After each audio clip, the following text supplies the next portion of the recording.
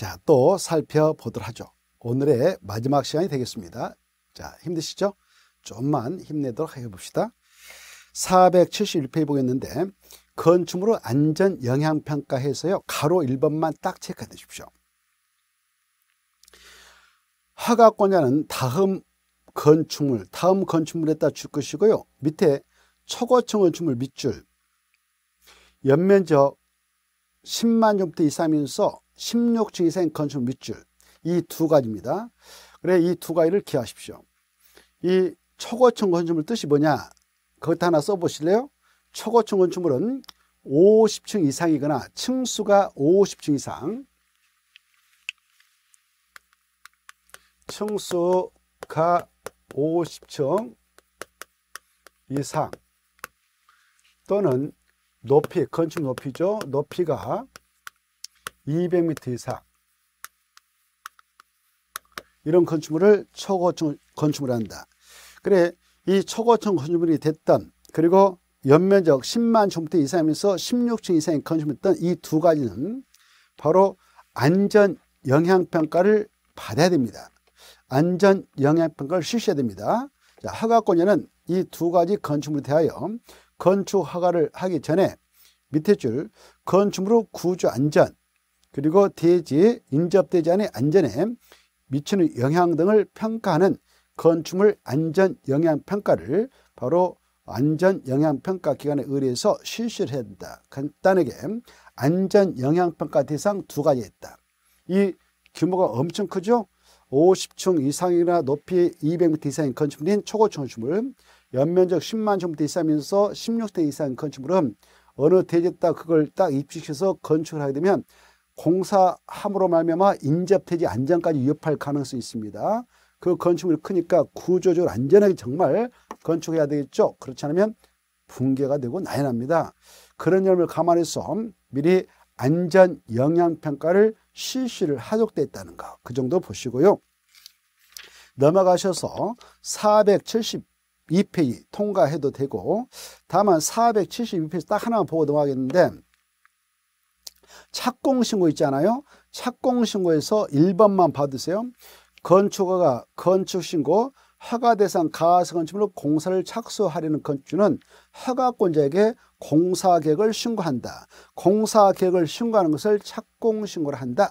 착공 신고를 해야 될 대상은 건축 신고 마친 건축물, 건축허가 받은 건축물, 허가받은 가서 건축물 세 가지다 이렇게 받으시고 그 다음에 넘어가도 되겠고 473페이지 가로 1번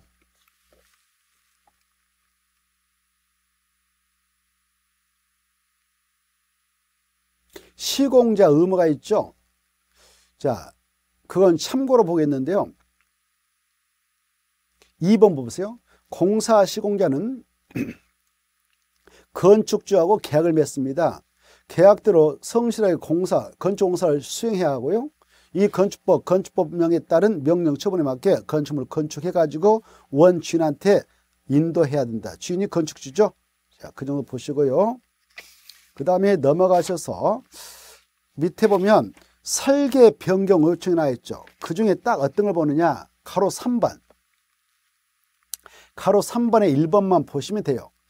연면적 합계가 5천 제곱미터 이상인 건축공사의 공사 감자는 필요하다고 인정하면 공사 시공자에게 상세 시공 도면을 작성해 주라 라고 요청할 수 있다. 이렇게 받으십시오. 5천 제곱미터 이상일 때 그렇습니다. 자, 그 다음에 넘어가도 되고 여기 있는 거 시험에 나올 거 없고요. 넘어가서 보면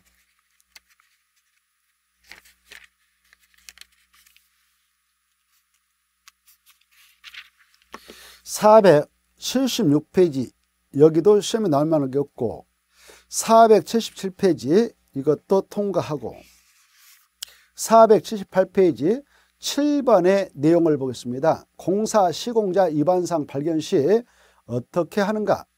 자, 아까 설명했죠. 1번 보면 공사 감자는 공사 감리를 할 때에 밑에 줄 위반된 상을 발견하거나 공사 시공자 설계 도서도로 공사를 하지 아니하면 어, 이를 위반된 사실이죠. 건축주에게 알린 후 건축주에다가 줄 것이고 1. 가장 먼저 건축주에 알립니다. 그 다음에 공사 시공자에게 그다 주고 2. 공사 시공자에게 시정을 요구합니다. 재시공을 요청합니다. 그에 따르자면 서면으로 공사 중지를 요청합니다.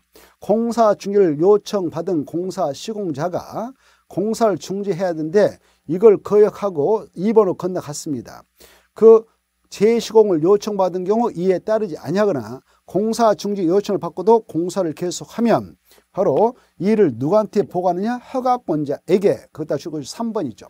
그래 순서를 좀 정리합시다.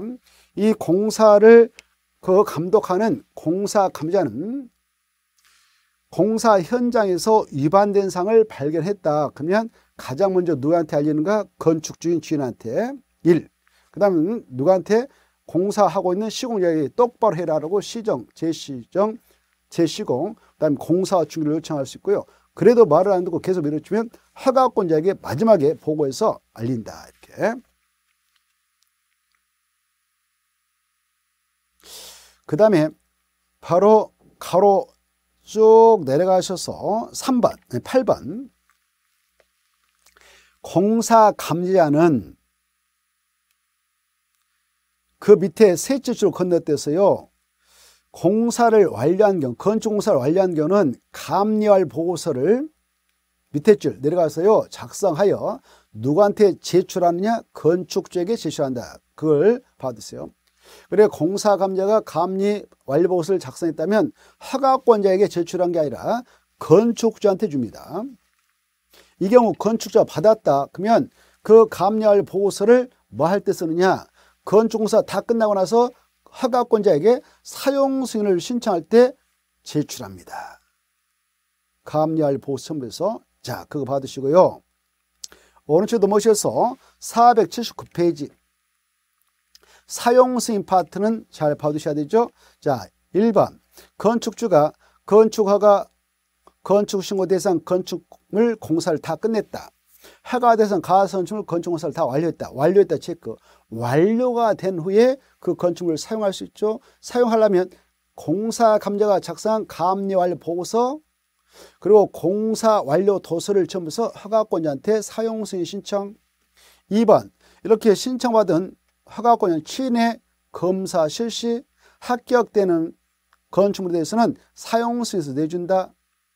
다만 그 지방자치단체 조례를 정하는 건축물은 사용 승인을 위한 검사 실시하지 않고 사용 승인서를 내줄 수 있다. 이때 검사할 때 뭘 검사하느냐? 사용 승인을 신청한 건축물이 바로 설계 도서도로 시공되었는지 여부. 공사 끝나가지고 감자한테 받았던 감리완료 보고서 공사완료 도서가 작업하게 작성된 여부. 이걸 검토해서 합격하면 사용서에 내주는 것이죠. 가로 3번 사용 승인을 받은 후가 되면 사용할 수 있지만 그런 후가 아니면 사용하거나 사용할 수 없다. 다만 사용 승인을 받지 아니하고도 박스 안에 바로 허가권자가 지금 합격했던 건축물인데 사용 승인서를 내줘야 되는데도 불구하고 기간 내에 안 내주고 있어요. 그러면 건축주는 바로 사용해도 됩니다. 니은 사용 승인서를 거부받기 전에도 전체 공사가 다 안 끝났습니다. 하나의 대지 안에 두 동의 건축을 받았는데 한 동은 20층짜리, 한 동은 뭐 20층짜리. 이렇게 두 동을 지금 공사하고 있는데 한 동에 2층짜리 공사가 다 끝났다 그러면 20층짜리가 공사 다 안 끝났다 해도 이것만 좀 사용합시다라고 임시 사용 승인을 신청해서 건축주 허가권자한테 그래 임시 사용 승인 받으면 그 부분은 바로 사용이 가능합니다. 그래서 니은 사용 승인서를 교부받기 전에 공사가 된 부분이 여러 가지 그 기준에 작업한 경우 기간을 정해서 임시로 사용의 승인을 한 경우에는 임시 사용 승인을 받았기 때문에 사용할 수 있다. 자, 그 다음에 이제 넘어가셔서요. 480페이지 동그라미 3번 건축주가 사용 승인을 받은 경우에는 밑에 박스 안에 있는 거 있잖아요. 1번부터 뭐 11번까지 이런 것들을 다 받은 걸로 간주를 해줍니다. 사용 승인을 받으면 어떤 걸 받은 걸 간주하냐 하수도법에 따른 배설비 중검사, 개인 하수 처리소를 중검사 공사 다 바친 걸 간주하죠. 그 다음에 2번 그 지적 공부의 변동상 등록 신청 그 정도 보시고 그 다음에 쭉 내려가셔서 바로 8번 국토의 계획 및 이용에 관한 법률에 따른 개발행위 중검사 아까 건축 허가를 받으면 국토의 계획 및 이용에 관한 법률에 따른 개발행 허가를 받은 걸 간주해서 개발행위를 할수 있죠. 그때 이 건축공사 다 끝나고 나서 사용승인을 받았다면 그 개발행위에 따른 중검사를 별도로 받을 필요 없어요. 그냥 사용승인 받으면 국토의 계획 및 이용에 관한 법률에 따른 중검사를 받은 거 간주를 합니다. 그 다음에 10번만 보십시오.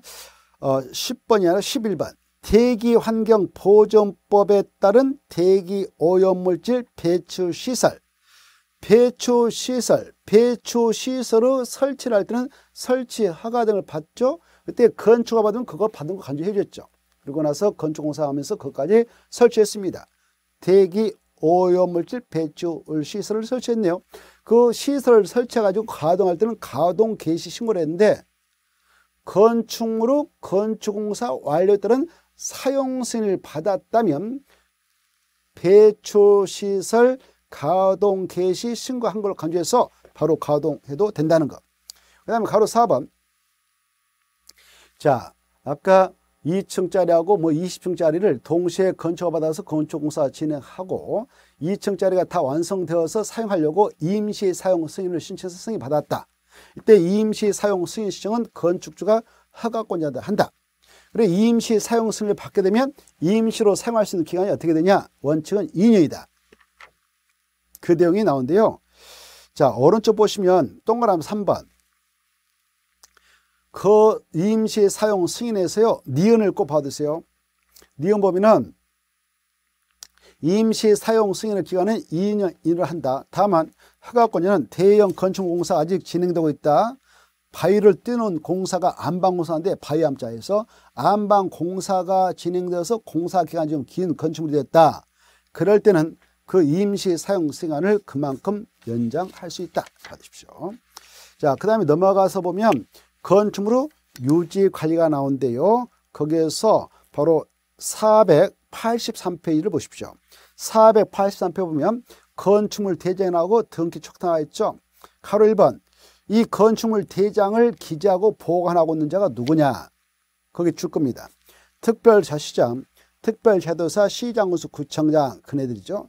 그네들이 건축물을 이용, 소유, 유지, 관리 상태를 확인, 건축정책 기초자료 활용 하기 위하여 다음에 해당하면 건축물 대장의 건축물과 그 대지 현황 등을 바로 적어서 보관하죠. 어떨 때 1번 건축공사 다 끝나고 나서 아까 사용승을 내줬다 그러면 건축물 대장을 새롭게 신규로 개설해서 그따 등록해서 기재 보관합니다.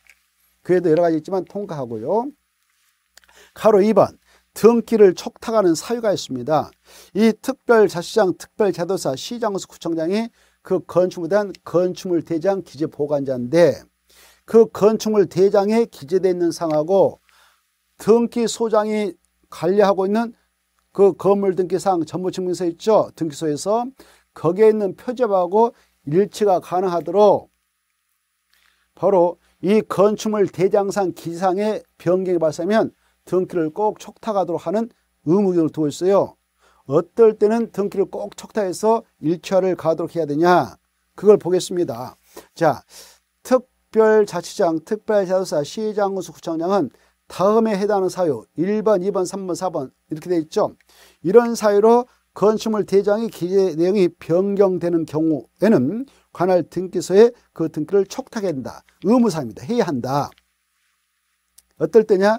지번 변경, 행정구역 명칭이 변경될 때 그리고 그 사용승 받은 건축물로서 사용승 내용의 면적, 건축물 면적, 구조, 용도, 층수의 변경이 있을 때 건축물이 해체될 때 건축물의 멸실 신고가 들어왔을 때 이랬을 때는 등기 촉탁을 해야 합니다만은 그런데 거기에서 바로 2번의 경우 이 사용 승인을 아까 최초로 신규 건축공사가 끝나가지고 사용 승인을 받아갔다. 그래서 이 특, 특 시장수구청장이 건축물 대장을 신규로 개설해서 그때 신규 등록했는데 이 건이 A 거다. 소유자가 A다. 그러면 이 특, 특 시장수구청장이 이 건축물에 대한 소유권 보호 등을 해주세요라고 촉탁 등기를 해야 할 의무가 있느냐?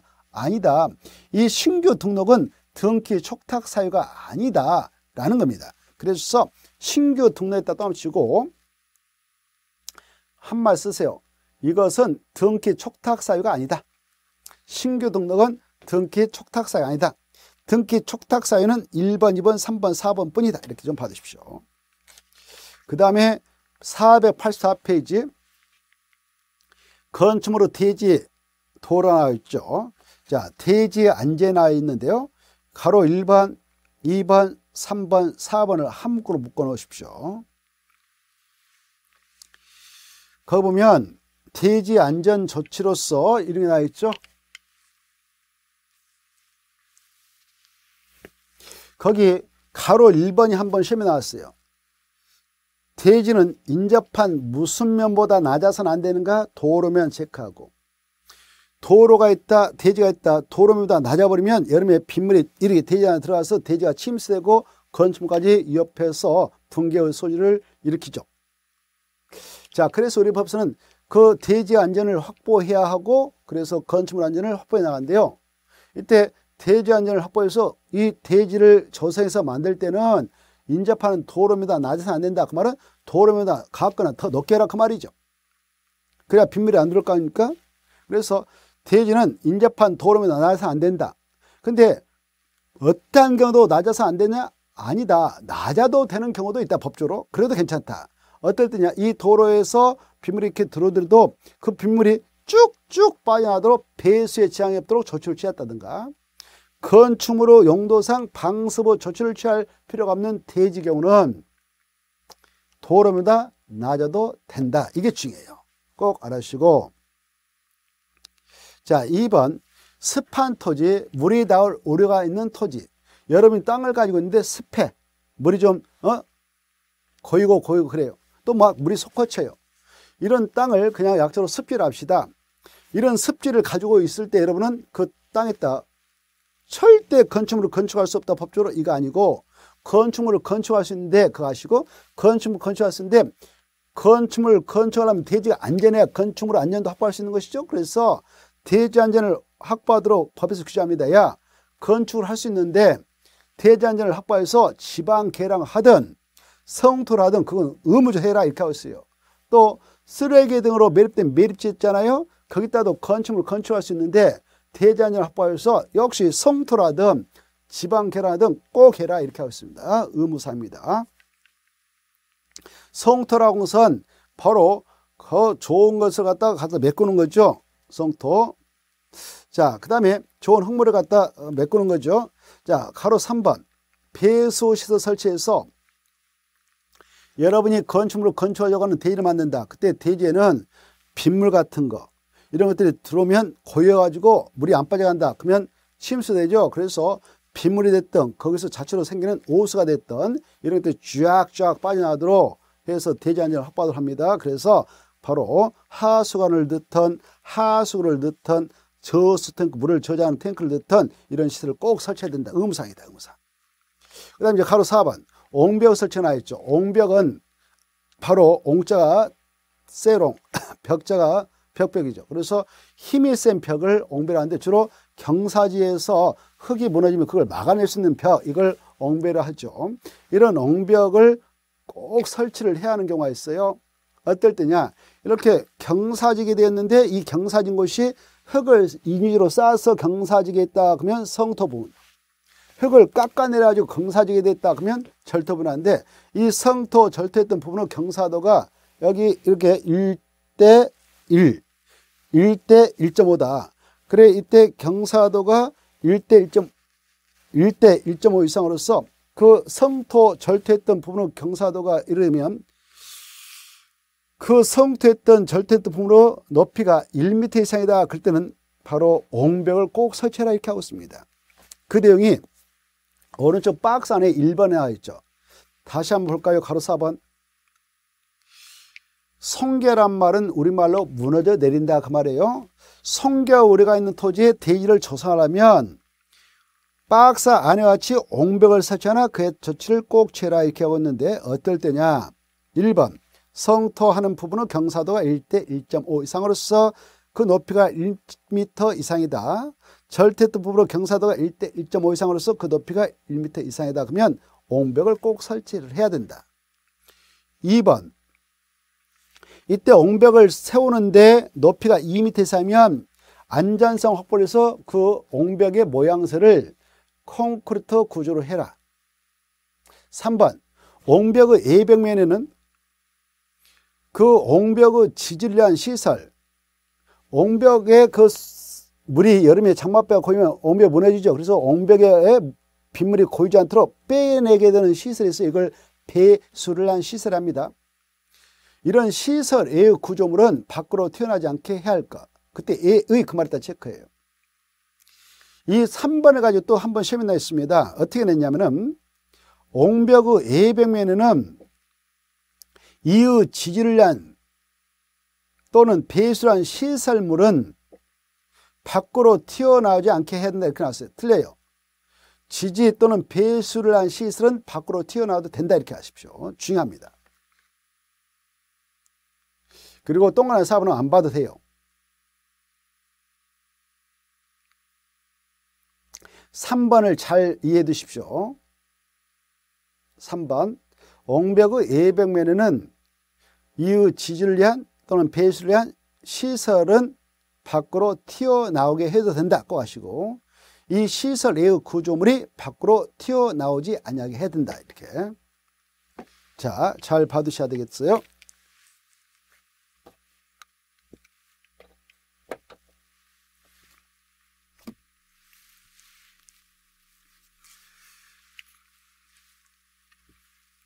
자 지금 우리가 대지 안전을 보았죠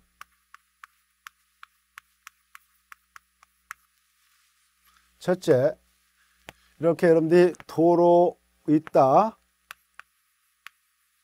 도로에 그 A라는 사람 대지가 있다. 여러분 이렇게 B라는 사람으로서 여기다 건축 건조가 대지를 조성한다.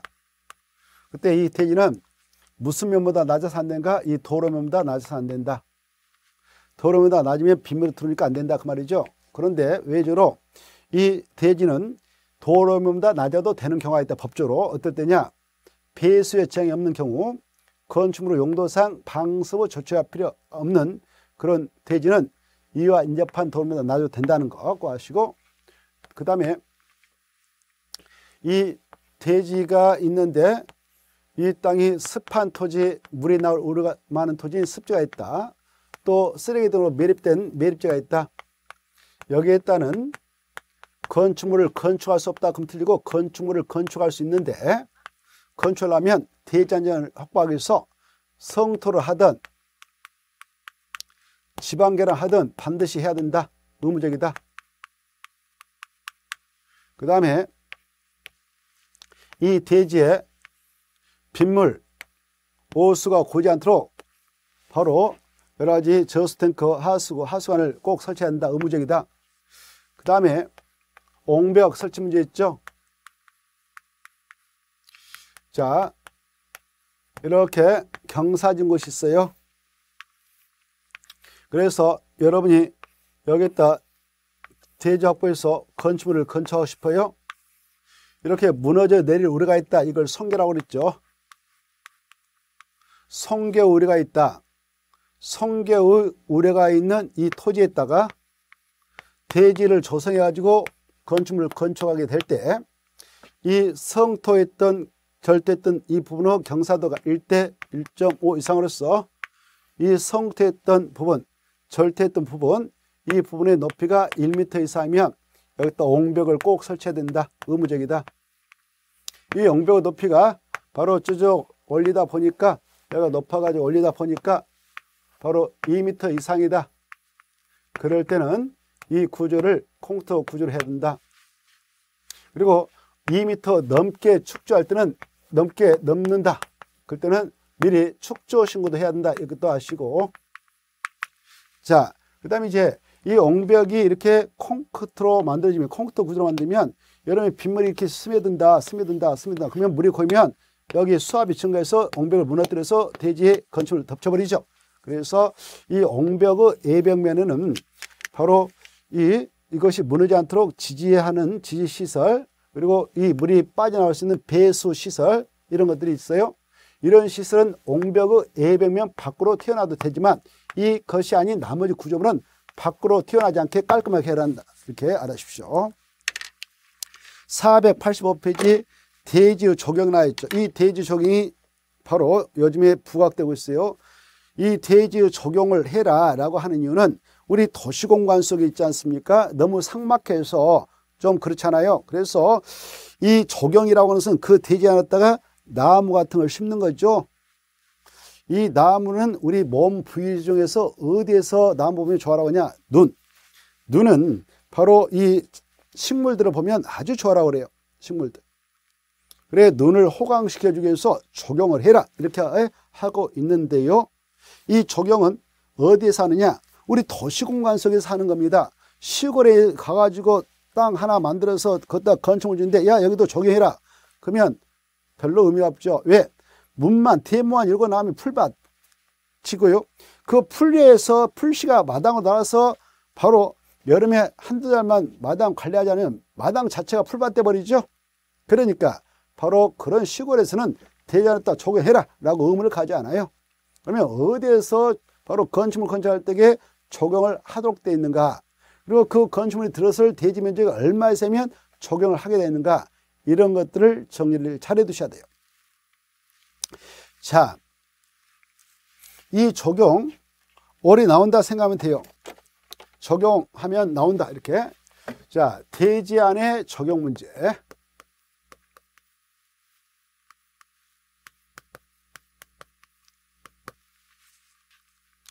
이 대지가요 이렇게 200종트 이상이다. 그럴 때 대잔에 적용을 하세요라고 합니다. 법에서. 200종터 이상이다. 200종터라고 하는 것은 평수로 환산하면 대략 60평이에요.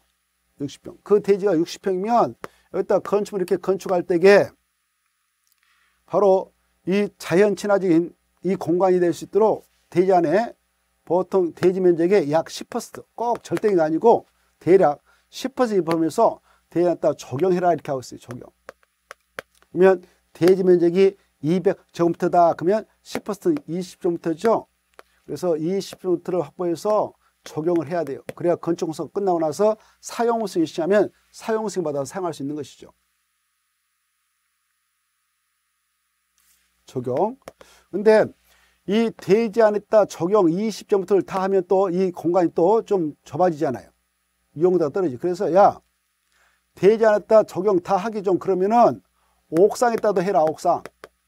옥상에 우리 시민들 할 때에 우리 시민들 할 때에 이렇게 할때 이렇게 옥상 보면 식물 있다 그러면 눈이 좋아하거든요. 그래서 옥상에다 해도 괜찮다. 다만 옥상에다 했던 것 다 대장했다 한 걸로 봐주는 않겠다. 옥상에다 했던 면적 중 3분의 2 범위 내에서만 대장의 적용으로 인정해 주겠다. 그러면 좀 면제해 받겠죠. 대장에. 그때 대장에 해야 할 면적이 아까 20종부터다. 그러면 20종부터의 50%를 초과하는 범위선 대장의 적용으로 인정해 주겠다. 옥상에 했다 했던 적용 면적이 있다면 그 옥상에 했던 적용 면적의 3분의 2 이내의 범위에서만 대지안을 적용으로 산정해 주되 산정을 해 줄 수 있는 그 범위는 대지 안에 해야 할 적용 면적의 50%를 초과하는 범위에서 인정을 해 주겠다라는 규정을 두고 있어요. 그래 이 대지가 200이고 적용을 해야 하는데 대지 안에 적용 면적이 20평부터다. 근데 다 하면 대지 면적이 좀 좁아지고 이용도가 떨어지니까 여기 좀 면제받고 싶다. 그러면 옥상에다 하면 돼.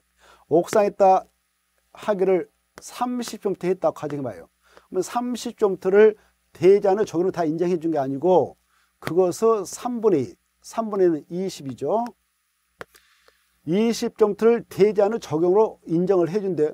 이 20점부터를 다 대자는 적용면으로 인정해주면 대자안에 하나도 안 해도 되는 결론이 나와버리죠. 그래서 야 20점부터를 다 대자는 적용면으로 인정을 해주는 게 아니고 대지 안에 해야 할 적용 면적 아까 20점부터 했다 그것을 50불 초과하는 벌면서 인정해 주겠다라고 하고 있으니까 옥상에다 30의 면적으로 30점부터 면적으로 적용을 했다 하면 전국적으로 대전의 적용 면적으로 인정받는 면적은 10밖에 안 돼요. 그래서 10은 옥상에다 했던 걸로 대체되니까 10점부터 면제받아서 대제안했다는 그냥 10점부터만 해도 됩니다. 자, 이런 것이 바로 480 6페이지 나요. 486페이지 그 박스 밑에 보면 옥상 적용 특 나 있죠. 건축물 옥상에 적용 조치를 하는 경우에는 옥상 부분 적용 면적의 3분의 2, 3분의 2에 해당하는 면적을 대지의 적용미로 산정을 해 줄 수 있다.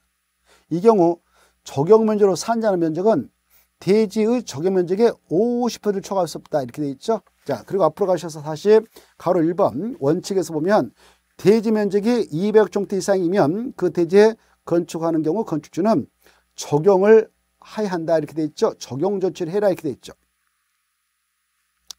몇 점부터 있으면 적용하는가? 200점부터. 그런데 이제 2번이 중요해. 외회해가지고요. 야, 대지 면적이 200점부터다? 거기다 건축물 건축할 때는 모두 다 대지할 때 적용하느냐? No. 여기는 적용해봐야 큰 의미가 없으니까 적용 면제하는 건 자유다 이거죠. 어떤 거냐? 동그란 2번면 적용 설치물 예해가지고요. 다음 어느 하나 해당하는 건축물에 대하여는 적용 조치를 하지 아니할 수 있다. 이제 이게 중요해 이게. 그게 더 중요해나요.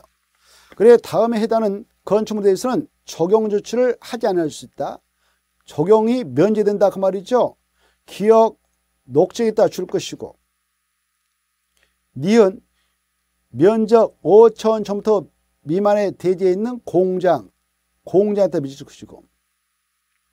디귿 연면적계 1500점부터 미만의 공장 공장한테 미칠 것이고. 리얼 산업단지 안에 공장, 공장다 미칠 것이고. 미음 대지에 염분이 함유되는 경우 그다 줄 것이고 대지에다 또 함치고 염분에다 함치고 4번 축사에다 줄 것이고 시옷 해가 대상 가설 건축할 때 가설 건축을 따줄 것이고 그 다음에 이응 연매작기가 1500점부터 미만의 물류시설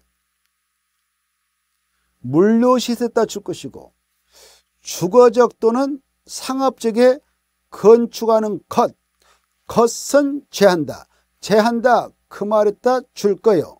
제한다 그 말에다 줄 것이고 적용해야 한다 이렇게 써놔요. 같은 말로. 적용해야 한다 이렇게. 적용해야 한다 이렇게.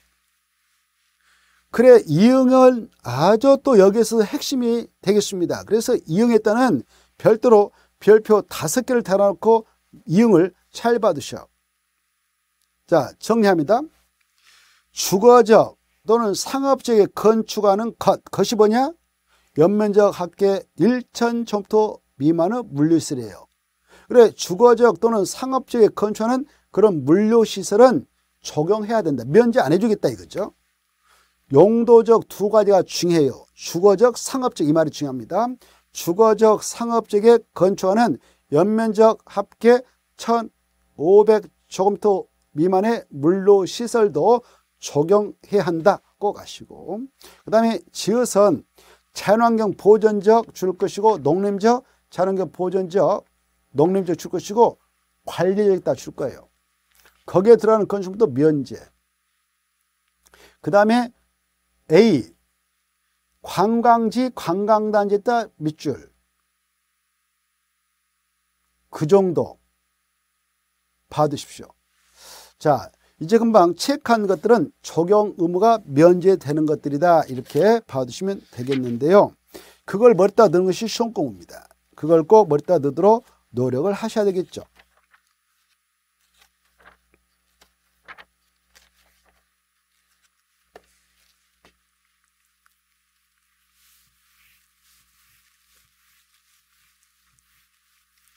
자, 적용 면제 대상을 보았는데요.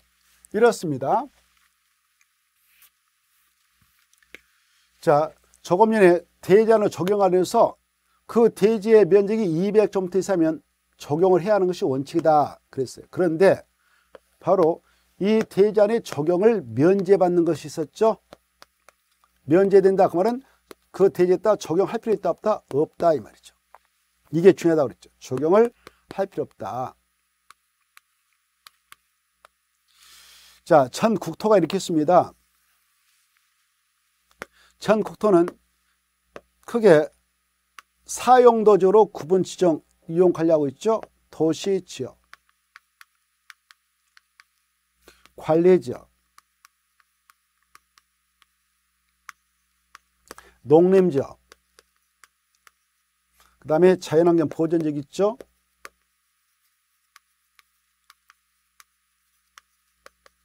이렇게 했는데 대전에 적용해라 라고 하는 이 규정은 어디에서 강하게 적용해서 우리 눈을 즐겁게 해 주도록 하고 있느냐. 바로 이 전 국토 중 도시적의 땅 주거적 있고 상업적 있다 공업적 있다 농업적 있다. 근데 이 주거적에 상업적에 우리 도심들이 많이 밀집해서 생활하고 있습니다. 여기에 엄청난 건축물이 들어있죠? 그리고 저 산속에 산 쪽 근처에 딱 공업적이 지정되어 있어요 그 다음에 보존하자 녹적이 있습니다 이렇게 그래 우리 도심들이 주로 주거적에서 상업적에서 생활 하고 있어요. 그래서 우리 도심들 상막하면 안 되니까 이 주거지에 있는 대지, 상업적인 대지의 면적이 200제곱미터 이상면 적용하세요라고 합니다. 적용은 여기서 강력하게 적용해서 두고 있는 거예요. 이 공업적은 공장을 건축하는 땅들이에요. 그렇죠? 이 공장은 조그마한 공장에 들어간다. 그 대지가 있다 그러면 그 대지 면적이 설령 200제곱미터 이상이라도 공장에서 생산하는 공상품을 그 대지에다 적착하기도 바빠요. 그러니까 굳이 공장 있는 데에다 적용을 해라라고 의무를 가지 않습니다. 그래 공장 공장 공장 세가 나왔죠. 공장 공장 공장하면 적용 면제 이렇게 시험으로 암기를 해버렸어요. 앞에 있는 수치는 몰라도 돼요. 그리고요 여기 보세요. 이 녹지역에 여러분이 대지를 조성해가지고 200정도로 만들었어요. 여기다 건축물 건축한다 합시다. 대지 면적이 200정도 이상인 것이라도 여기다 적용해봐야 의미 없죠. 왜? 대모가 열고 나면 식물들이 너무 많아요. 풀밭이 많아요. 그래서 풀씨가 나와서 마당 자체가 풀밭 될 수가 있죠. 그래서 적용할 필요가 없어요. 이거는 하는 건 자유지만 녹지역도 마찬가지고 관리역도 마찬가지고 농림지역도 마찬가지고 자연계 보증도 마찬가지예요. 그래서 녹지역 나오면 적용 면제, 관리역 나오면 면제, 농림지역 나오면 면제, 자연계 보증 나오면 면제 이렇게 딱 가닥을 쳐버렸어요. 공업직에 등장하는 공장도 면제 이렇게. 그리고 소대 지키는 축사도 면제. 이미로 설치해서 부시게 된 가설건축도 면제. 바다를 밀어서 대를 만드는데 그게 아직도 염분이 함유됐다. 그러면 이 소금물하고 식물을 뿌리는 상극이에요. 상극. 어, 이 소금물이 있는 그 땅에다가 나무를 심어라. 그러면 삼투압이 작용되어서 나무가 다 죽어버립니다. 그래서 대지에 염분이 함유됐다면 적용 면제. 예? 그래 이 가로수가 어, 그 자기가 운영하고 있는 가게 어, 가로수 나무가 있어가지고 여름에 뭐 어마어마하게 나무 잎이 우거져서 간판이 가려져가지고 손님들 잘 안 온다. 그러면 이 가로수를 죽이기 위해서 나쁜 그런 사람들은 가로수에다 여름 내내 물을 타서 주는데 소금물을 타서 주죠. 그래 나무가 가려면 다 벌겋게 타 죽어 있어요. 왜? 소금물을 많이 먹어서 삼탑이 작용돼서 물을 못 먹어서요. 물을 내뱉어가지고. 그래서 다 죽어버린데 아무튼 식물하고 이 소금물은 좀 상극이다. 그래서 대지에 염분이 함유되어 있으면 바로 적용 면제. 그래 이제 적용이 면제되는 경우는 그렇습니다. 그런데 여기요.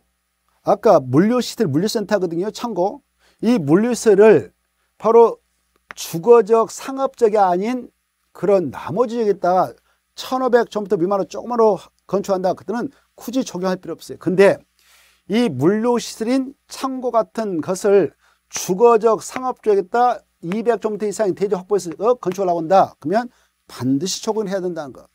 물류시설 연면적합계 1500점부터 미만의 물류 시설이 어느 지역에 들어가게 될 때는 적용을 해야 되는가? 바로 주거적 상업적 이게 중요해요. 자, 꼭 그걸 받으시고요. 그 다음에 나머지 통과해도 되고 공개공지 확보가 나 있죠. 486페이지. 이게 시험에 올해 꼭 시험에 한 문제 나오는데 이 파트